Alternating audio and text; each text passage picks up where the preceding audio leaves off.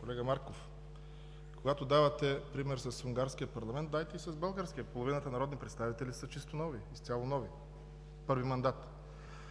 Когато се връщаме в онези времена, 89-та година, защото Вие това казахте, тогава левите, БКП, не са подкрепяли мажоритарната система. Аз не искам да се връщам пак в тези времена.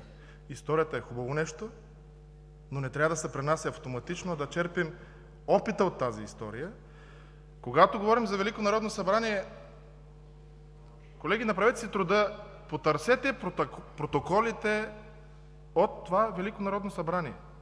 Кой под каква форма е бил избран? Аз не ги намирам тия протоколи. Дори имам спомен, че бяха се загубили бюлетини, господин Марков. Липсваха бюлетини. Откъде да знам аз, че Вие като мажоритарен кандидат сте бил точно избран от е, люлинчани? Аз нямам нагледно доказателство за това.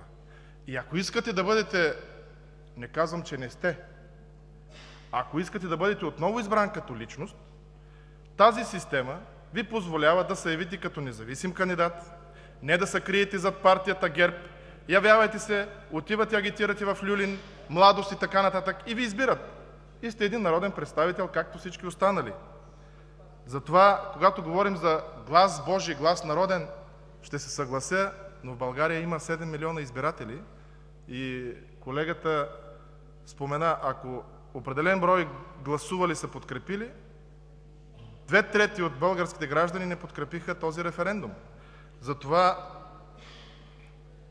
трябва да сме внимателни, когато а, говорим, но трябва да говорим не само цялата истина, но абсолютно цялата истина. Благодаря Ви.